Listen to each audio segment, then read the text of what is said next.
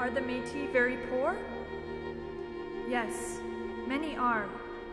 Many Métis people are fishermen, trappers, lumberjacks, etc. As our rivers and lakes become polluted, they find it harder to make a decent living.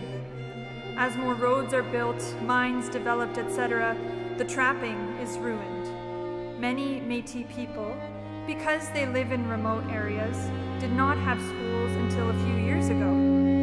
Thus, many of them do not have a good enough education to change from being a fisherman, etc., to holding a complex city job. Many have traditionally earned much of their living by hunting and shooting moose, deer, ducks, etc.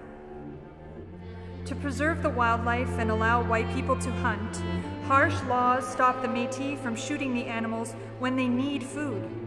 Because of these and other very complicated reasons, most Métis are poverty stricken